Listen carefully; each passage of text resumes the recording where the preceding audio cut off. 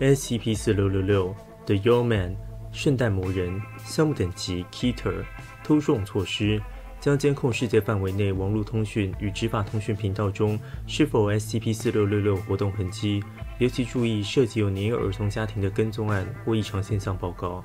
一旦怀疑有 Vesnak 事件正在进行，最近的收容特遣队将出动，尝试收容 SCP-4666，使用标准 PDP-8 原型首次接触协议。媒体对 SCP-4666 死亡家庭的报道将被压下，或误导为非异常入室杀人引起。非经会机构收集的监视证据和 SCP-4666 G A 个体将被查抄，对目击者施以记忆消除。描述 SCP-4666 当前确信为一名来源未知、寿命极长的人形尸体。贝斯达事件的幸存者一般将 SCP-4666 描述为一名身材极高（两公尺到二点三公尺间）的老年欧洲血统男性，其外貌极度瘦弱，实体似乎总是全身裸体，即使是在寒冷天气的户外。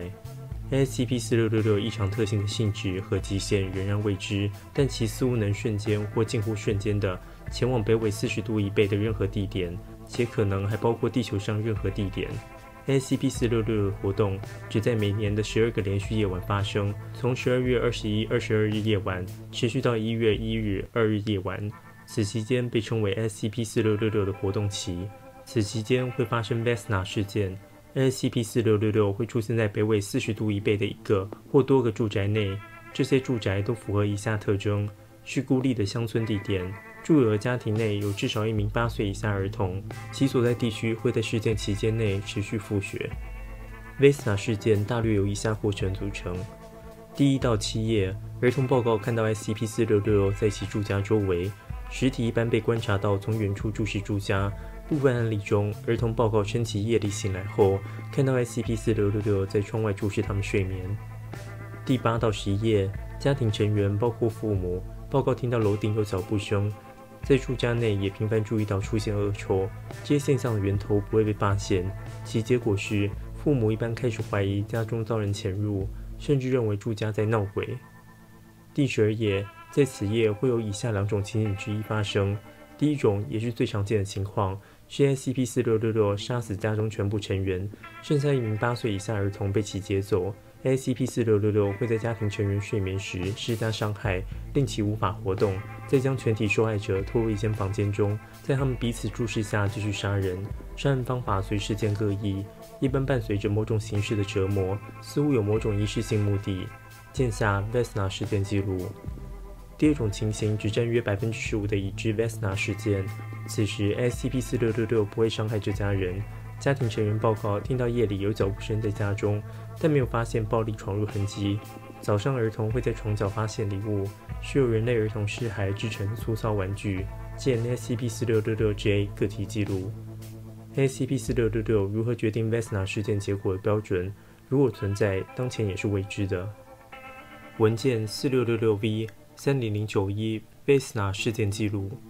需注意的 Vesna 事件：克罗埃西亚的未知村庄，大约一四九八年，全家人被杀，一名儿童年龄未知被绑架。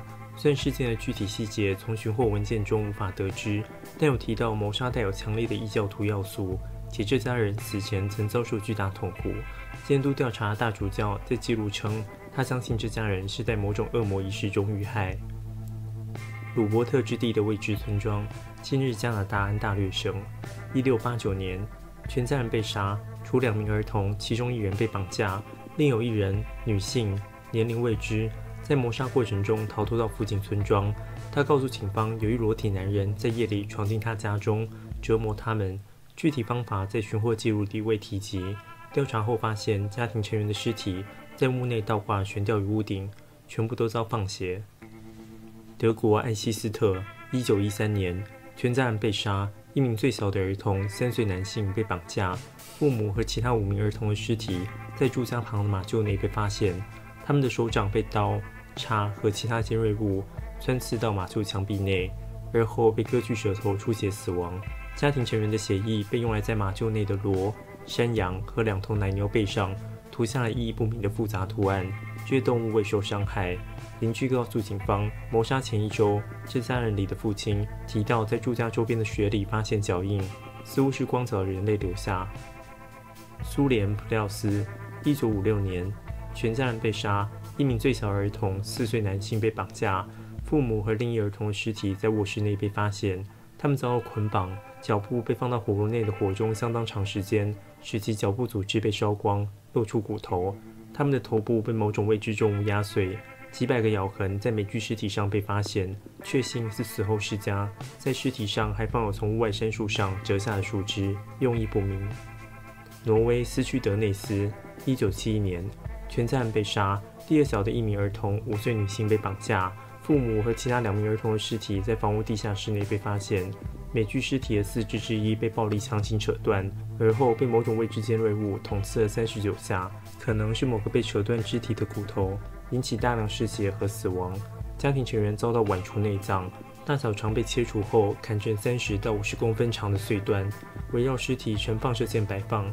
肠道内的粪便被用于在地下室墙上涂出意义不明的符号。冰岛埃伊尔斯塔季，一九九六年，全家人被杀，最小儿童四岁女性被绑架，父母和七名其他子女的尸体在屋内被发现，所有尸体的背部。颈部和腹股沟都有大片皮肤在死前被切除，切下的皮肤被发现遭到部分啃食。全部家庭成员被家中存放的一把斧头斩首。在死后，家庭成员的无头尸体被放到各自房间的床上，砍下的断头被放置在一楼通往二楼的阶梯上。父母的头颅在最下，而后依年龄由大到小排列。文件四六六六 B 三零九八五 SCP 四六六六 J 个体记录。需注意的寻获 SCP-4666-J 个体。芬兰努尔梅斯，1811年，一个小木骨，有两根长短不一的木质骨棒，骨皮为390立方公分大小人类儿童皮肤，被人类击剑制成的线缝合。威尔士格里盖尔，1857年，一把小刀，长十五公分，刃长六公分，用人类儿童的整块骨头雕刻而成，在其把手上刻有含义未知的符号。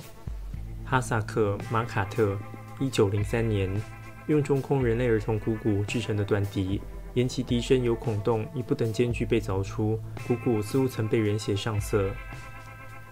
密西根州班戈市，一九六零年，装有十三个微型人像的木盒，每个长四到六公分，人像以人类儿童的指骨制成，用人肌腱制成的弦索固定，人像被以人把和碎布装饰。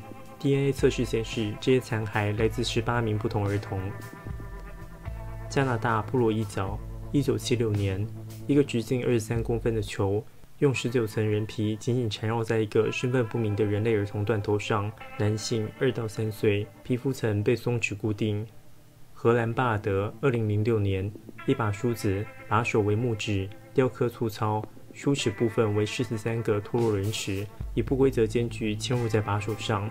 DNA 测试显示，每颗牙齿都属于不同的儿童，只有两颗能与已知遭拐走的 SCP-4666 受害者匹配，牙齿年龄从几天到四百年以上不等。发现 SCP-4666 存在及持续活动，于1974年通过基金会新安装的异常标志辨识程式被发现，有多起高相似入室杀人事件被发现，集中发生于北半球的一月一至二日夜晚。对世界范围平民和执法部门档案的广泛调查后，最终发现证据显示，可能的 Vesna 事件近乎每年都在发生，最早可追溯至18世纪，平均每年3.1起已知事件。多份历史文件也发现，似乎是描述了更早期的 SCP-4666 活动。部分案例中，最早可追溯至西元二世纪的欧洲及俄罗斯，还有西元前一世纪的斯堪的纳维亚。在基因会调查过的全部 b e s n a 事件现场。都发现有属于同一人形尸体的指纹，与1873年寻获的一个 SCP-466-J 个体上以干燥协议保存的残留指纹相匹配。未知人类中会出现该指纹表现的特征。四人类的白发也在多个 Vesna 事件中现场被发现，但没有 DNA 可从中被提取。附录466之01于2018年1月2日。在贝斯纳事件零六零一九八结束后，于阿拉斯加州霍纳的一处住宅内发现多个 SCP 四六六六 J 个体，这之中有 SCP 四六六六 J 零九六零，为粗糙、巨人大小的人偶，以一名女童瘦弱的身体制造而成，在其上有如下改造：一件用许多肮脏、褪色布料拼成的裙子被缝在躯体上，多处缝入皮肤中，口部被肌腱制成的线缝合，嘴唇被主要由人血制成的颜料涂红。用松脂将来自其他儿童的指甲粘合在躯体的指甲上，用同样的人血染料涂红。躯体上有三根手指缺失，头皮被完全剥去，缝上了长有金色长发的其他儿童头皮，头发被梳成两半。双眼被挖除，眼眶内放入了粗糙涂画成眼睛的大圆鹅卵石。在制家人进行检查时，发现被制成人偶的儿童仍然存活，但失去意识。警方接到通知后，将该儿童空运送往阿拉斯加州朱诺市的巴特利地区医院。他在那里存活了十八小时。基金会特工出动，得以对对象进行了采访，见下文访谈记录。在对象死后，他的尸体被特工查收。所有目击者依照标准程序被记忆消除。DNA 测试显示，对象为七岁的 Ekaterina Morozova，是二零一六年一月二日从俄罗斯杜博夫卡被绑架的 SCP 四六六六受害者。尸检显示，他在被绑架后的两年里严重营养不良，造成其严重发育障碍，体重仅有十五公斤，身高仅九十公分，有若干伤疤和烧伤在其皮肤上，有两处骨折，左胫骨和右尺骨没有被复位。只接受过不妥当治疗，其双手严重生茧，死因被归为严重持续的营养不良，造成多重器官衰竭。录音记录四六六六至零六二零一，日期二零一八年一月二日，时间阿拉斯加标准时间二十三时二十七分到阿拉斯加标准时间二十三时四十九分，地点阿拉斯加州朱诺市巴特利地区医院，采访者。特工 Anthony Kovacic，特工 Susan Mills 陪同，受访者 Ekaterina Morozova，SCP 四六六六 GA 零九六零，女性，七岁。备注：对象在死前三十分钟恢复意识，对其进行了采访。医院人员已事先将他唇上的线去除，令其可以开口说话。尽管对象被给予吗啡点滴，他在采访全过程中基本保持连贯。对象不会英语，只会说一种特工 Kovacic 与 Muse 都不了解的语言。然而，在几分钟后，对象开始以俄语和特工交流。Kovacic 特工掌握了初级俄语，令其可以在无翻译下进行采访。记录开始。你好，我是 Anthony，你叫什么名字？你，你是来带我回去找他的吗？不，我保证，我就是来和你说话的。我不想回去。你不需要了，你安全了，米什卡。你能告诉我你发生什么了吗？你记得他进到你家的那晚吗？我记得他伤害了爸爸和妈妈，还有卡蒂亚和伊丽安娜很长时间，他们都在流血。等他们都不叫了，他把我装进他的袋子里。他的袋子？他有个大袋子，袋子里还有其他孩子。我想，我们到了其他房子，我听到袋子外面整晚都有人尖叫。每到一间房子，他都会装一个孩子进袋子里，然后过了这夜，他就将我们带走了。他带你们去哪了？地下，很深。地下？您说地下室？很深，到处都是泥和土，还有冰，骨头到处都是。到处都冷，我睡不着，因为太冷了。有很多其他孩子和你一起吗？很多孩子，很多隧道，很多洞，但我没有全看到。我看不到其他，太暗了。我的洞有 Rene 和 Hekla 和 Sasha 和 Paul，我们一起做玩具。玩具？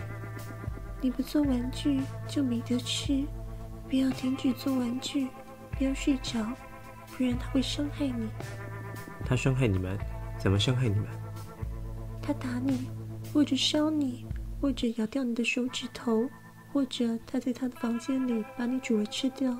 他吃了 Philip 和 Sally。你呢？这是怎么发生在你身上的？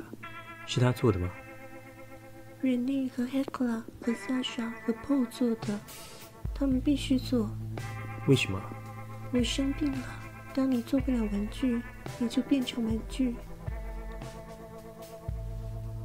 以上就是 SCP 四六六六。简单来说，SCP 四六六六是一个有老人外形的人形实体，能瞬间移动。会在圣诞节前后开始活动，入侵住家，并绑架孩童，杀害其他家属。被绑架的孩童会被迫在恶劣的环境中进行玩具的制作，这些孩童遭受虐待，并可能成为 SCP-4666 的食物。当孩童无法再进行玩具的制作，就会被制作成玩具。这大概是最让人不适的 SCP，很有都市传说和 Creepypasta 的氛围。之前在最恐怖的 SCP 有讲过，不过这次就完整介绍。下支影片应该会来讲群星不带这个缺失之物毁灭世界的故事。这支影片就到这边，如果你喜欢这支影片，记得帮个喜欢；不喜欢的话就不喜欢吧。希望我做成 SCP 有主题可以留言告诉我。就这样，拜拜。